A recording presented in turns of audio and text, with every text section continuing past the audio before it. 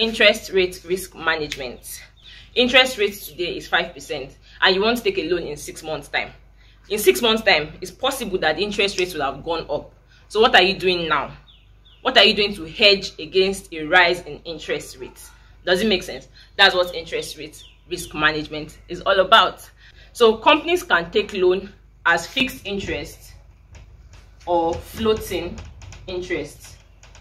Right? This is the risk profile. Floating interest or variable interest. Now, when a company takes a loan with fixed interest, it means interest rates have a possibility of going up. So it's preferable to just take a loan with a fixed interest rate like ah, 5%.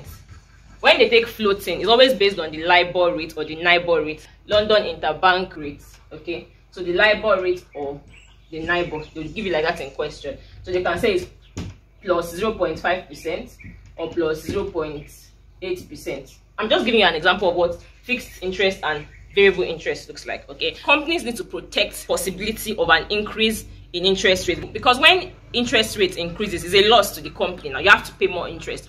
So that's where edging against a rise in interest rate comes in. And what can you do? You can use the external method or internal method so all those um, um forward rate agreements interest rate guarantee that's where um it comes under external method. Then the internal method you have pooling matching smoothing. Now under the external method you have your forward rate agreement. That what they call fra right? We have interest rate guarantee. We have interest rate swap interest rate futures options on interest rate futures right so in this class we're going to focus on these three. And in the next class we'll do these last two. So let's start with forward rate agreement.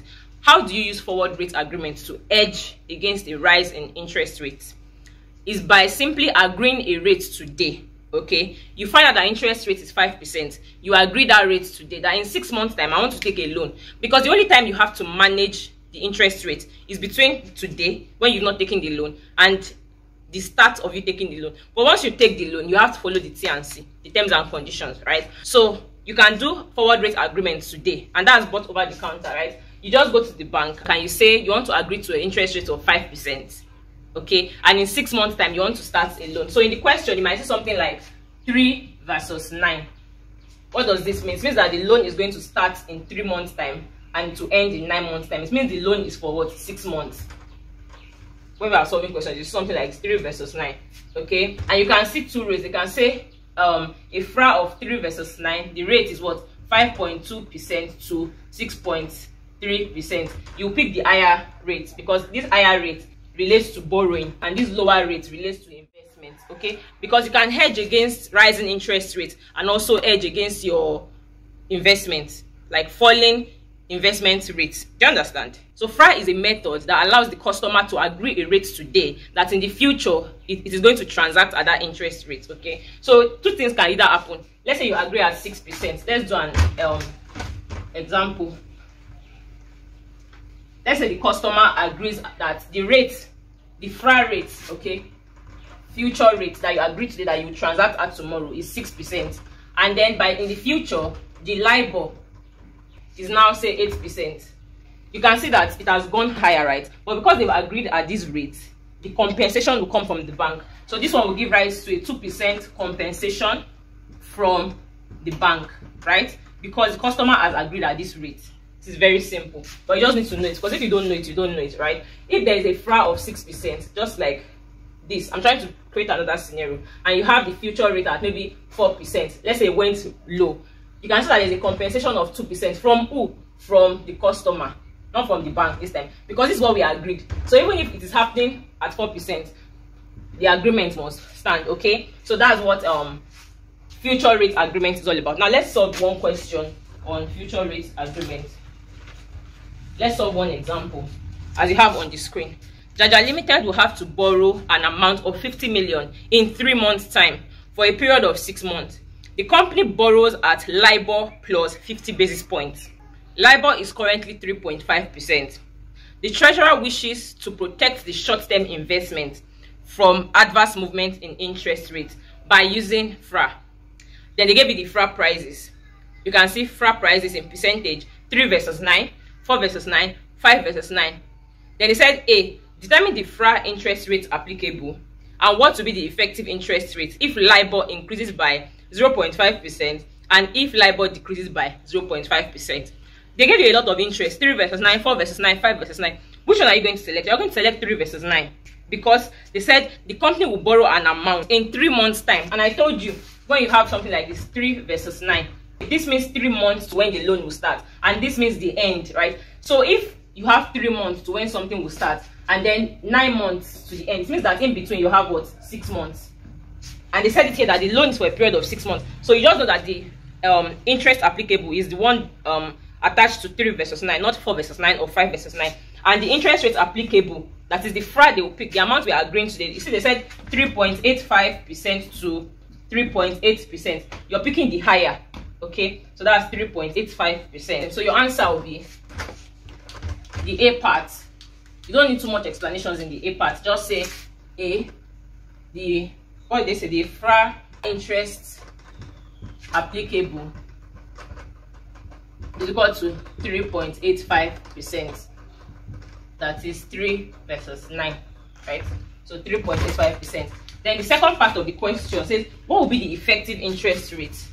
B effective interest rate means what will now be the interest rate at the end of the day? What will now be the eventual interest rate that this company Jaja Limited would pay because they are agreeing 3.85 today that in the future 3.85 is what I want to pay okay? Irrespective of what is happening. But they are telling you that what will be the effective interest rate if LIBOR increases by 0.5 percent? So let's do the analogy that I did earlier when I was explaining it okay? The FRA what they are agreeing today don't forget that this is the first scenario. If LIBOR increase abi? LIBOR increase by 0.5 percent. So the FRA that they are agreeing on is what 3.85 then LIBOR LIBOR is currently 3.5 percent. So 3.5 percent plus 0.5 percent 4.0 percent. We are comparing that against 3.85 percent. Can you see that what we agreed what the company jaja limited had agreed is lower than this? So it's it looks kind of protected abi. It looks as if the compensation is going to come from the bank. Because what happens practically is that jaja will still pay this 4.0 percent in six months time. As in when the loan starts will still pay this 4.0 but because he has agreed 3.85 there will be a compensation from the bank okay? So the compensation from the bank is what? 0.15 percent when you deduct it right? So this is compensation from the bank. But that's not what they're asking you for. That's too simple. Compensation from the bank. So you now go and describe the scenario that will happen once the loan is collected right? So on the actualization of the loan is not compulsory. I'm just writing that on, on the actualization of the loan what's going to happen? They'll pay interest rate. So interest payment interest payment that's what 4.0 percent plus 0.5 percent. Why are you adding 0.5 percent? Because the question says the company can borrow at libor plus 50 basis points. At any point in time where this company wants to borrow it has to borrow at libor plus 50 basis points. And you you guys know i've explained that in um is it cost of debt? Because whenever you see basis points 50 basis points just put 50 divided by 100 and you put your percentage beside if anybody gives you 70 basis points write the 70 divided by 100 and put percentage beside it. So that's 0.7 percent you see? 0.5 percent. Okay? So interest payments 4 percent plus 0.5 percent. Because the company must borrow at the libor rate plus 0.5 percent. And the libor rate is this. Not this 0.5 percent you are saying no. This one was just the increase. Okay this was the increase in libor rate because libor rate today is this. The company saw that libor rate today is 3.5 then they quickly agreed down that let's say in six months time no matter what is happening to libor i'm borrowing at 3.85 percent. The the bank agreed okay? Then in that six months time interest rate has gone so high to 4.0%, higher than what they agreed. It means that the bank will compensate them. But then they said in the question that any, at any time the company wants to borrow it would only borrow at libor plus plus 0.5 percent. It could be 0.6 it could be so don't think these two are the same. Does it make sense? So it says they are paying interest at 4.5 percent right? Is equal to what? 4.5 percent multiplied by what's the loan amount? 50 million right? 50 million naira. Now the loan is for six months okay? So you have to write six over 12 because it's not a year. This is an annual rate. All these rates are annual. So you need to prorate okay? They are annual. Just like you saying if 4.5 percent is equal to 12 months so how many percent will be equal to six months okay? So that percentage that is equal to six months will be what? 4.5 times 6 over 12 can you see where the prorating comes from? Multiply by 6 over 12 so like you are dividing this one into two. That's what it means technically okay? So you need to prorate. So these are the interest where's my calculator? 4.5 percent. 0.045 multiplied by 50 million divided by 2 so that will give us 1,125,000. can you see that now there's a compensation from the bank. Because you paid this does not mean that the bank will not compensate you. Okay? So you have compensation from the bank.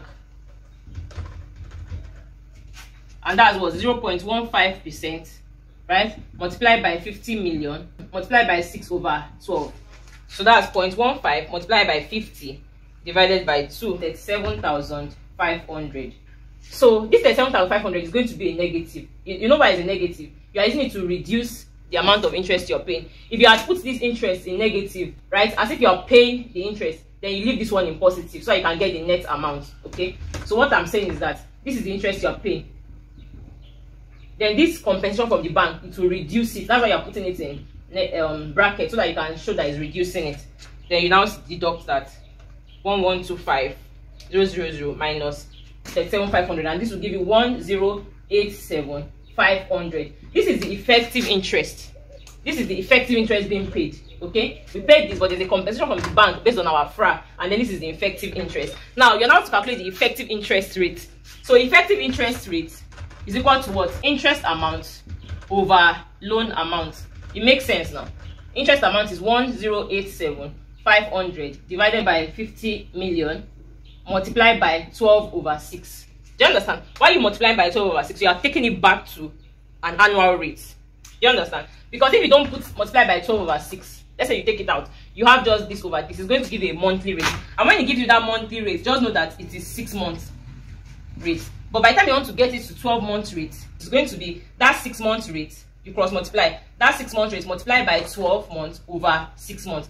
That's why you have times 12 over 6 here okay? So this is just a longer explanation what i did here. So i know why i'm doing times 12 over 6 you are taking it back to annual. So you put this in your calculator.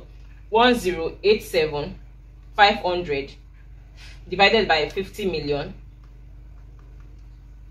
times 12 divided by 6 right? And that gives you 0.0435 is that? So you multiply by 100 to get the same percentage. That's 4.35 percent okay? So the effective interest rate is 4.35 percent. Why is it 4.35 the company agreed 3.85 okay? But look at upon loan actualization it was paying interest at 4.5 thank god for that 0.15 um what was it called? Compensation. If you do it from here 4.5 minus 0.15 you get 4.35 okay? But you don't get to do it do the long way so you can actually see what is happening. Does that make sense? So let's move right to the second method okay? So the second method is the um interest rate guarantee that one kind of um addresses the weakness in the first method. You know in this method there's no flexibility at all. Once you've agreed you've agreed irrespective of what happens somebody has to compensate. Is that there's compensation from the bank or there's compensation from the customer.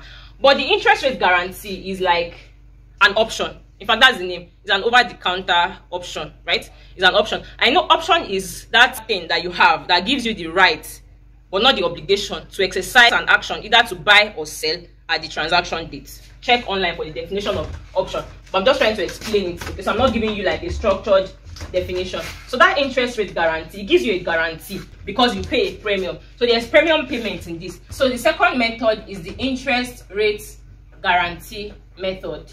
Before we solve this question let me just explain again. So the interest rate guarantee i'm going to explain with two scenarios okay? Scenario one and scenario two